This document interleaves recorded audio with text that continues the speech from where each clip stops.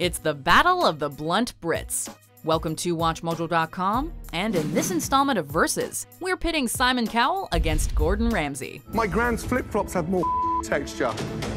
Looking for WatchMojo videos with a British twist? Well, pack your bags and take a trip to WatchMojo UK for even more bloody brilliant content. For this video, we're going to find out which British personality is the best on TV. We'll be looking at five crucial categories to determine our winner. And on that note, I think you should leave right now. Round 1 Show Quality and Quantity. American Idol has the kind of production values you'd expect from a show about singers and international superstardom. Everything is lit and staged like the contestants are on the world's biggest stage, and they kinda are. However, despite being a well produced and well oiled television show for over 15 seasons, it lacks a little bit of creativity and doesn't often deviate from its formula. Additionally, though American Idol is a huge hit, Simon has never quite reached the same level of success with his other television ventures. I don't see anything current, anything interesting, anything which would make me interested in you as a performer. On the other hand, Kitchen Nightmares also follows a predictable formula, but each episode is different because of the nature of its format. Gordon's show goes to a completely new place each episode, Despite the strain of filming in constantly changing locations, the production still manages to give us great TV to watch. We get to see behind the scenes kitchen drama we can only imagine in our dreams or nightmares. Since Ramsay's shows show us something different each week and are still produced excellently, we give him the nod here. Winner, Gordon. Yeah, delicious. Well done. Wow. Round 2 Professional Success. Before he was making people cry in front of millions of live viewers, Simon Cowell was already a successful music producer. He's also been a judge on the British shows Pop Idol, The X Factor, and Britain's Got Talent.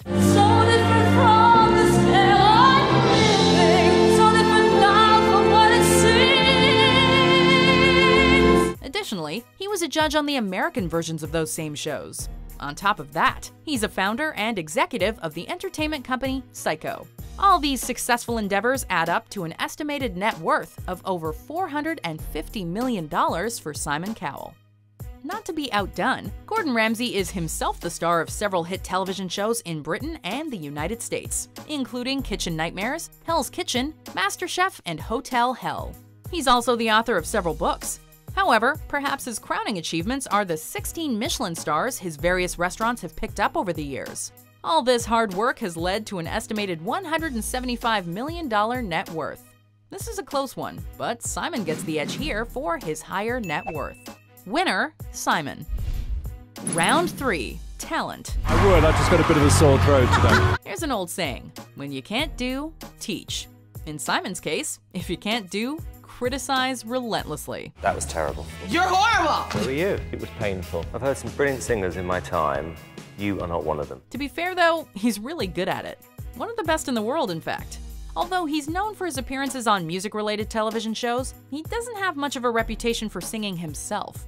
His biggest talent seems to be in television production and talent recognition, which he is spectacular at. Simon Cowell was also named one of Time magazine's 100 most influential people in the world in 2004 and 2010. Conversely, Gordon Ramsay is not just super talented at yelling, he's also super talented at cooking. His shows mostly revolve around the culinary arts, whether they're based around competitions or rescue missions, so it's a great benefit to him that he has excellent kitchen skills.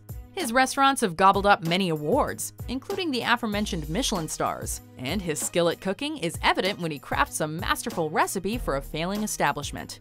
For his personal skills and accomplishments, we give this round to the guy with the knife. Winner, Gordon. Let the knife do the work.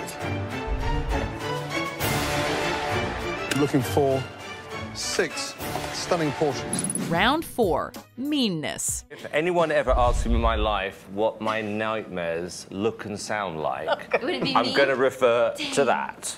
I'm sorry. Uh, that's what keeps me up at night. It takes an epic amount of disregard for the feelings of others to say the things Simon says, and in front of millions of people, no less. His wit carries a unique quality of meanness that we really can't find in too many other places. That was more Mariah scary. We're pretty sure he says some things just to be cruel, even if he denies it. Some of his hardcore followers even find themselves surprised by the harsh things he says. We're just glad he does it on TV, so we all get to see it. Last year I described someone as being the worst singer in America.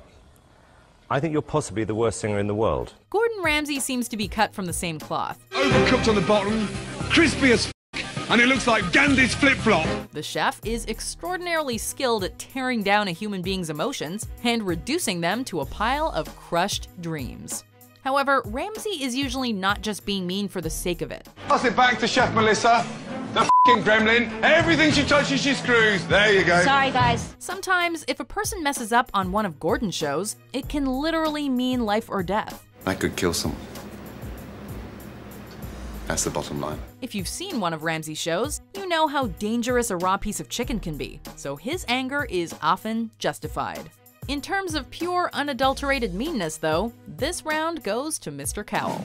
Winner, Simon. You couldn't win this competition if you were the only person in it in a million years. Round 5, Entertainment Value. You've definitely made an impression here, Eric. Thanks. Erica. Get all that. Yeah. That was the goal. Um, what's the big dream here?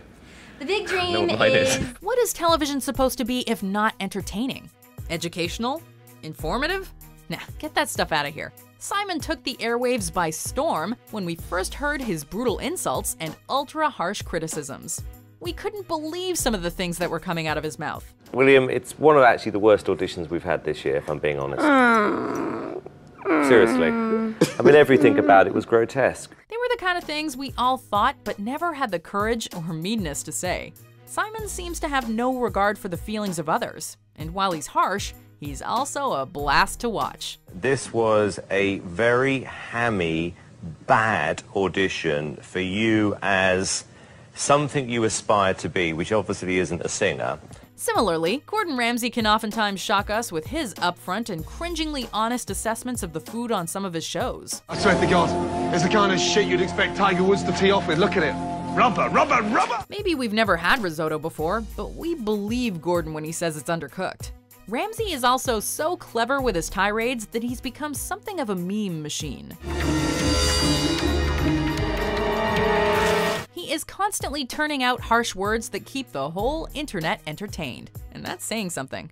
Despite the fact that Simon's shows revolve around singers, dancers, and entertainers, we find that the chef with the temper offers the most entertainment value. Winner, Gordon. And look at the result. A soggy, disgusting nugget sat on a bed of unwanted slaw over a gummy puree that I'd give my granddad to paste his house, put new wallpaper, not to eat. Disgusting. There are the results. In professional success and meanness, Simon Cowell cannot be topped. However, in show quality, talent, and entertainment value, Gordon Ramsay takes the cake, so to speak. This makes Ramsay the biggest of the two British TV personalities. Goodbye to the big place. Hello, profits. One, two, three, go. Do you agree with our picks? Check out these other great clips from WatchMojo and subscribe for new videos every day.